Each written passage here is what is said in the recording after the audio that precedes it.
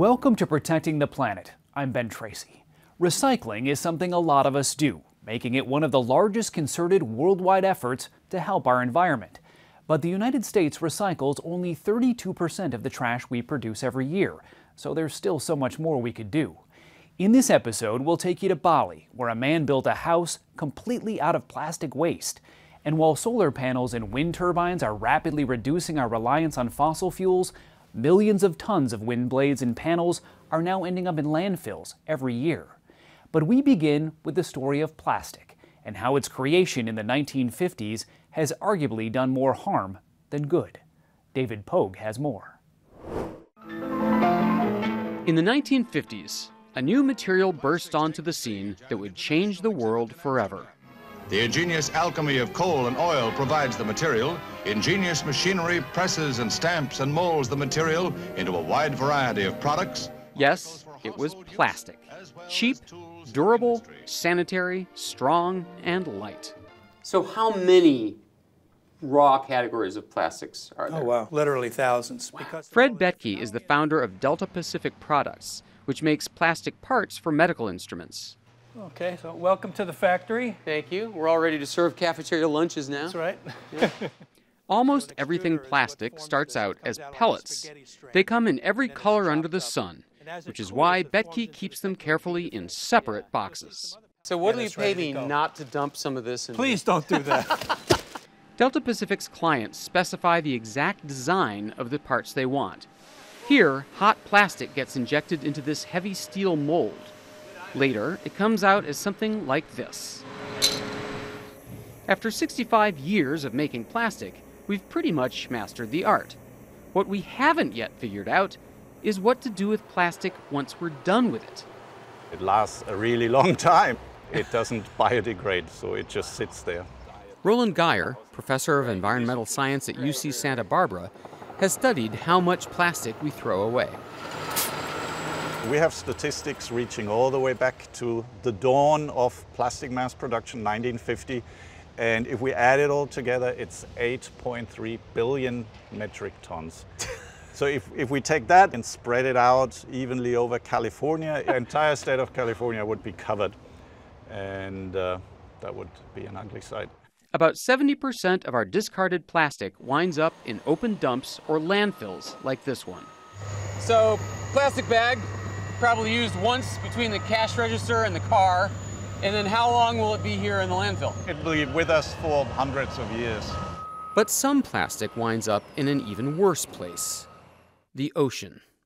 Every single year, somewhere between 5 and 12 million metric tons of plastic waste enters the ocean. Plastic in the ocean has a tendency to break down into ever smaller pieces, and these tiny pieces then get taken up even lower down in the food chain. So we know that um, it ends up on our dinner plates. There's plastic in my food? There is plastic in your food, plastic in your sea salt, and there is plastic coming out of your tab. In fact, at this rate, the World Economic Forum predicts that by 2050, our oceans will contain more plastic than fish. But wait a minute. Don't most people recycle plastic? Not exactly. Geyer says that as of 2017, the world recycles only about 9% of all our plastic. Even if you're good about using your recycling bin, your plastic may never actually get recycled. Its first stop is a material recovery facility where metal, glass, paper, and plastic get sorted. we sort everything. So we will sort hangers, we'll sort plastic film, we will sort soda bottles, pill bottles, and make individual bales of each plastic. Ah, okay. Sunil Bagaria is the co founder of GDB International, a corporate recycling facility in New Jersey. Then it is going to another factory, which is then washing it, grinding it, pelletizing it. Then from there it will go to another company which will make another product or maybe blowing another bottle. It's easy and economical to recycle clean, pure plastic. But well over half the plastic we throw in our bins is contaminated by food or paper labels or other materials. For 30 years, we've had an easy solution for disposing of that dirty plastic, And what is the role of China in all of this? Ah, that is the million dollar question. China was buying 50% of all plastic scrap in the world. That continued for say 20, 30 years. And then there was a, I think, a movie made by somebody. Plastic China. Plastic China.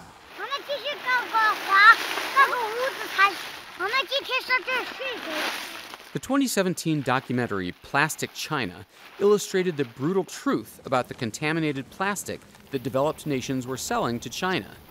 It showed a desperately poor Chinese family eking out a living by hand sorting these mountains of plastic trash.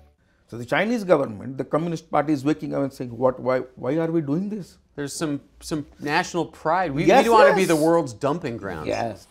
So the Chinese government announced a new policy. China stopped accepting other countries' plastic unless it's impossibly pure. A lot of plastic comes to recyclers like Bagaria all mixed together, impossible to separate cost effectively. So, what happens now to the plastic we used to ship to China? Not much. A lot of it's just piling up here in the States. We still have large volumes of the types of plastic that nobody will buy, sitting, waiting for somebody to buy them. Clay Warner is the recycling manager at Garten Services in Salem, Oregon. And then you have to decide how long you're going to hold on to it before you end up throwing it away. The town had to ask the public to stop putting certain plastic types into their recycling bins. Uh, first initial reaction from the public was outrage. What do you mean we can't recycle these plastics? Meanwhile, smaller recycling centers are simply going out of business. If you were selling it to China, there was some revenue coming. Now, if you are sending it to landfill, sending it to landfill costs money. So, not only now you are not earning, now you are paying to get rid of it. Still, Roland Geyer points out that we have overcome environmental nightmares before. We banned leaded gasoline. We managed to tackle ozone depletion. So I think humankind has a long history of uh, creating big environmental problems, but I think we're also starting to have a track record of solving environmental problems.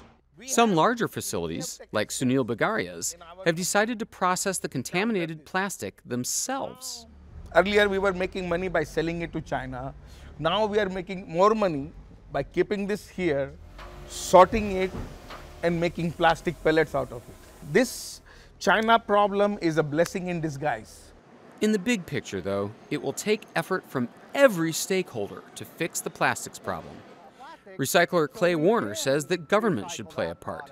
I do think, in my own opinion, that um, we do need to ban certain plastics and packaging. Sunil Bagaria says that corporations play a part.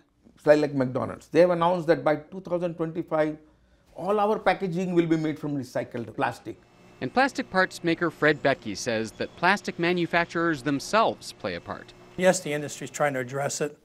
Polymers are being developed that, as you know, the knives and spoons and forks that we see in some of the fast foods, they've gone to those polymers, which are biodegradable. It has to happen. I mean, this is all we've got, right? So Yeah, that's right. We cannot imagine life without plastics, but we cannot continue to lead our life the way we are. It's not like, oh, let's use this planet Earth, then we will move to another planet. This is what we have. We need to take care of this.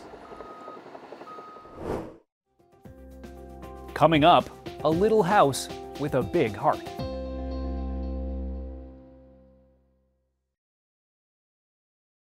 Welcome back. Globally, only 9% of plastic waste is recycled. Well, one man in Bali decided to recycle plastic waste by building his house out of cups, straws, and bags. Here's Tina Kraus. Welcome, guys, to my recycled tiny home. Gary Bencheghib is right at home in his own plastic paradise, a dwelling made from 35,000 plastic bags. Fully equipped with a king size bed, a kitchen, and a full on bathroom. The plastic pad sits on a beach on the resort island of Bali, where he collected the trash. Fully off the grid, powered by solar. So, this is the battery storage area. The bed frame, furniture, and kitchen cabinets were all built from plastic cups and straws. Why not recycle the plastics that we're collecting from the rivers and really show what we can do with it? Bencheghib started a movement two years ago, cleaning up Bali's iconic beaches, clogged rivers, and illegal dumping sites to stop the trash from reaching the ocean. Now his upcycling trend has hit one of the island's high end beach clubs, where workers are busy building tables, chairs, and all kinds of accessories out of waste. How do we minimize what goes to landfill? Because at the end of the day, it's not waste until it ends up in a landfill. Back at home, Bencheghib says he's living proof everyone can do their part to help the planet. The final environmental decision we will make is what we want done with our bodies after we die. Well, there's a new option considered to be better for the planet. It's referred to as human composting and I visited one of the first places in the U.S. to offer this service. In the garden of her home in Bellingham, Washington, Marie Eaton is always able to find something she lost. When I come out to garden, uh, he's there. And every time I'm under one of the maples, I think, oh, yeah, Wayne, you're here. Her brother, Wayne Dodge, was also an avid gardener with a fondness for Japanese maple trees. But in 2021, he fell down the stairs and became a quadriplegic. A few months later, the 71 year old doctor got pneumonia. As a physician, he knew what that meant. You know, they call pneumonia the old man's friend, and he chose that way to leave. And we were devastated to lose him, but um, understood that choice. You were very close. Very close, very close to him. Instead of being buried or cremated, Wayne had chosen a relatively new alternative natural organic reduction, more simply known as human composting. It's a natural process that transforms the body into soil. So I wanted to show you what the soil actually looks like. It's beautiful, like beautiful, beautiful mulch um, at the end of the process. Some of it is spread under the Japanese maples in her yard. What do you say to people who will hear this and say, that just sounds a little creepy or a little strange? So I might invite them to think a little bit about what traditional burial involves, which is embalming a body, putting it inside a lead lined coffin, and putting it into a concrete vault in the ground as though we were pretending the person's not dead, that to me is a much more creepy than this process of naturally um, becoming part of the soil again. For her brother, that process happened here at Recompose in Seattle, the first human composting facility in the country. This is the gathering space. Katrina Spade is the founder and CEO. She showed us the space where families can hold a memorial service as their loved one is covered with organic plant material such as straw and wood chips. We typically have the person's body laid here, and at the end of the ceremony, we pass the person's body through the threshold vessel. On the other side is this array of 8 foot long stainless steel containers in which more natural material is added to aid in decomposition. How long will this take for each individual body? Well, everybody's different, but about 30 to 40 days inside the vessel. And we're creating this perfect environment to facilitate that transformation into soil. Bone at that point is reduced mechanically to sort of like a sand like substance. Spade is a former architecture student who was instrumental in Washington state becoming the first in the nation to legalize human composting in 2019. Five other states followed, and there are now a handful of companies offering this service. Human composting is considered an environmentally friendly choice, a way to minimize death's carbon footprint. Today, most Americans choose to be cremated or buried, which involves burning fossil fuels and toxic chemicals. Do you find that the environmental footprint of this is part of what's driving some folks' decisions? Yes. So if you've lived your whole life thinking about that and trying to make a difference environmentally, it makes sense too to think about your environmental impact after you die. But the New York State Catholic Conference opposes the practice, saying it is more appropriate for vegetable trimmings and eggshells than for human bodies. I know that this is an incredibly respectful process, and for so many people, it's more than that, it's deeply meaningful. It is like giving your body back to nature. Yeah, we, we truly get to be nature eventually. Simple natural burials were standard until the Civil War, when soldiers were embalmed so their bodies could be returned to their families. Abraham Lincoln's funeral made the process popular, and luxurious caskets became the new standard. Human composting is one of the few innovations in death care in more than a century. About 300 people have used Recompose's services so far, which cost about $7,000. The soil created, which fills the bed of a pickup truck, can be taken by the family or donated to forest conservation efforts. Wayne is all over Seattle, planted under many, many Japanese maple trees. Marie Eaton's brother's soil was given to family and friends to sustain the trees he so loved. She finds comfort in knowing that his death continues to create new life. Every time I come outside here and see the maples, I'm reminded of this wonderful, wonderful man.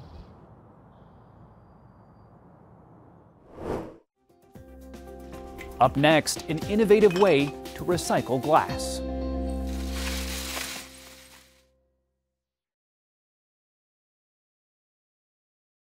With limited glass recycling programs in Louisiana, one couple found a new way to recycle it in their own backyard. Jesse Mitchell has more. They're on the grind here in Scott, Louisiana. And now it's going to get a little loud. Tina Crapsey and her partner Don Vincent are crushing it. Crushing glass. When they stopped recycling glass, it just didn't make any sense to me to throw it in the garbage. A metal worker by trade, Crapsey spent months of trial and error to produce her own solution, the Annihilator. And make a batch. We can crush nine wine bottles in about six seconds. The local government ended its glass recycling program, in part because the newer machines could not sort glass without contamination from food and other recyclable items. Even though recycling has increased across the country, glass recycling has decreased over the past decade. I can see how challenging it would be on a larger scale because it's pretty challenging on even just the small scale. The glass recycling process can be slow. Bottles soak for days to loosen labels for a clean slate. It's tedious, huh? It is. We make it fun though. Yeah, we do. How do you do that? We have friends over. and we Yeah. have drinks. You're contributing to the pile? Yes. Then the selection for the perfect blend. It looks good. It's like painting. The finished product, a sparkling mulch that is safe for landscaping. Their signature color, backyard sapphire, the company's namesake. We sift that out and then we get the, the pebble blend. And then some of the large pieces end up in our uh, beach glass. The mulch stays put and filters water as it rains, solving two problems with one simple idea. An idea that has earned the couple praise from environmental regulators across the state. We've actually got a Louisiana weatherproof uh, landscaping yeah. that, that might make it through a storm. And make others see the beauty of recycling.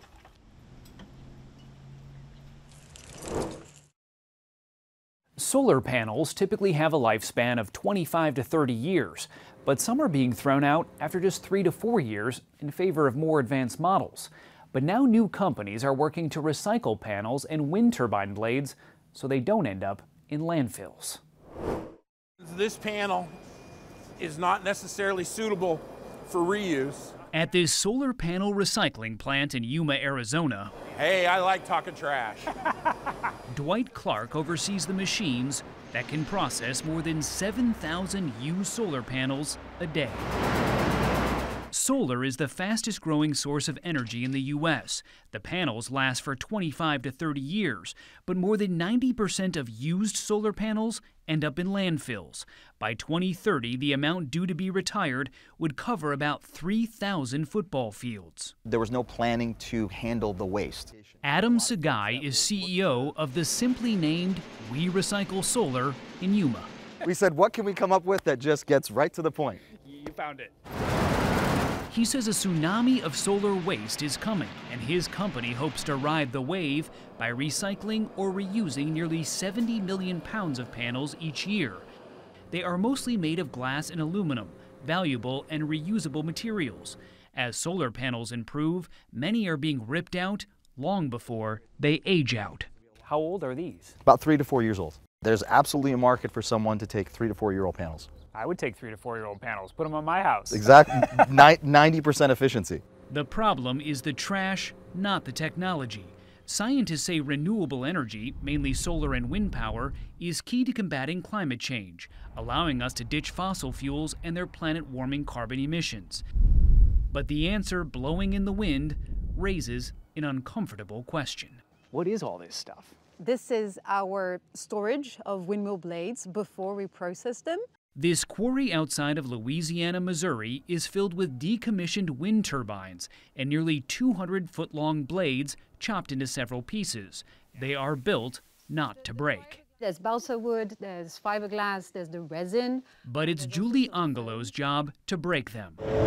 She's with Veolia, a company that figured out how to cut these blades down to size so they can be recycled. So if you weren't recycling all of this, what would happen?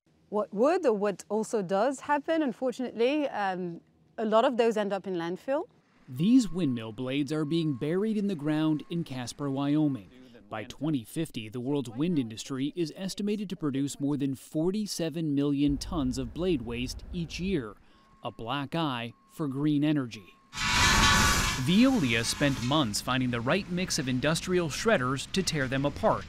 So from a massive windmill turbine blade to this. To this, yes. They sell the blade remains to cement companies, which use it to fuel their kilns instead of coal. They say that cuts their planet warming carbon emissions by nearly 30%. Overall, the renewable recycling industry is small, and it's still cheaper to send the waste to landfills. But in Europe, used blades are being remade into everything from playgrounds to bike shelters to bridges. So far, Veolia has processed nearly 3,000 blades. You took something that's supposed to be indestructible and you've destroyed it. Yes. Congratulations. and the renewable revolution should provide an endless supply of business. For more stories like these and live coverage of breaking news 24 7, stream us right here on CBS News, available across all platforms. Thanks for watching Protecting the Planet. I'm Ben Tracy.